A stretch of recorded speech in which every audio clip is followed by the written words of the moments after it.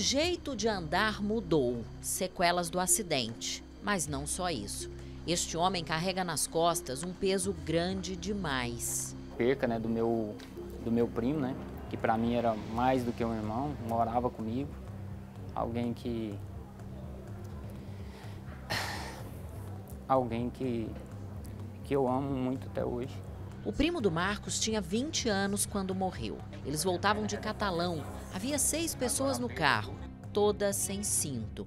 Uma soma de erros que definiu o resultado trágico.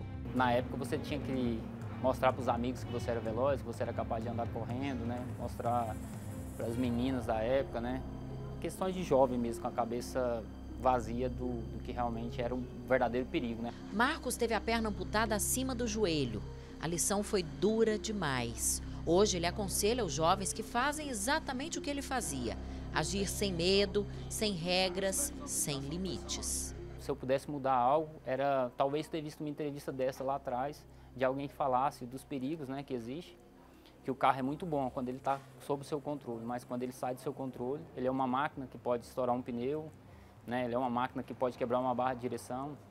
Então, isso aí combinado com velocidade, combinado com, com imprudência, com álcool, que não foi meu caso, graças a Deus, mas com imprudência, com velocidade e outras coisas mais, pode te deixar marcas para o resto da sua vida, né? Quem colocou o Luiz numa cadeira de rodas estava bêbado. Ele e a mulher estavam de moto quando foram atropelados por um carro em alta velocidade. Quando eu acabei de passar um quebra-mola, um carro desgovernado muito rápido entrou na contramão e pegou a gente de frente. É só até aí que eu me lembro. Luiz era atleta, fazia musculação. Sempre vaidoso com o corpo, passou um ano deitado numa cama.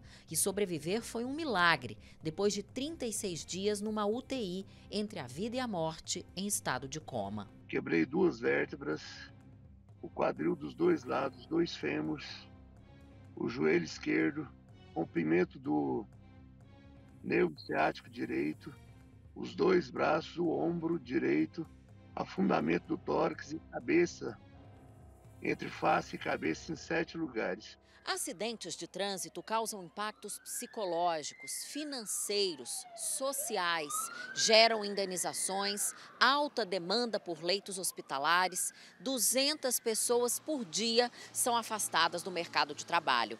Mas nada nem ninguém é mais impactado do que as famílias que perdem alguém. Não há despedida para quem morre em acidente de trânsito. É tudo rápido, definitivo, um apagão sem volta. Quem perde alguém precisa processar a dor de ver uma pessoa querida, saudável, desaparecer tão de repente. Eu não abracei meu pai. Eu não pude despedir do meu pai. Se eu soubesse que aquele dia ia ser o último dia, na hora do almoço eu tinha abraçado tão forte ele.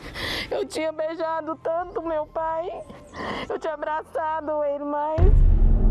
Wilson, de 55 anos, certamente nem teve tempo de ver ou reagir à tragédia. Estava estacionando a moto quando foi atingido por um motorista bêbado. O garçom, que torcia para o Flamengo, deixou filhos e netos inconsoláveis.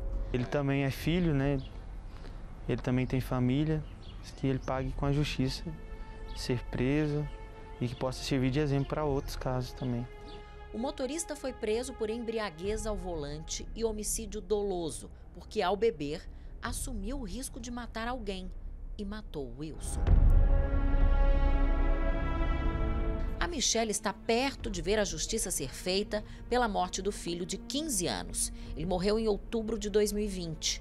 O caminhão em que o jovem estava foi atingido por uma caminhonete. O motorista, que furou o sinal e também estava embriagado, vai à júri popular, como acontece com quem pratica crimes contra a vida. Emanuel não será mais uma estatística. Porque sempre quando eu ouvia crimes de trânsito, eu via e parava ali mesmo, na primeira semana de comoção, porque realmente é uma morte muito dolorosa, é um assassinato. E, e eu sempre pensei, eu vou atrás de justiça.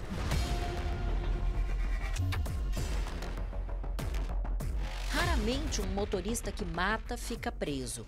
Castigo mesmo é só para as famílias. Sofrem pela morte e pela injustiça. A Michelle fez disso uma causa. Criou o projeto Mãe de Anjo, que ampara outras mães que perderam os filhos.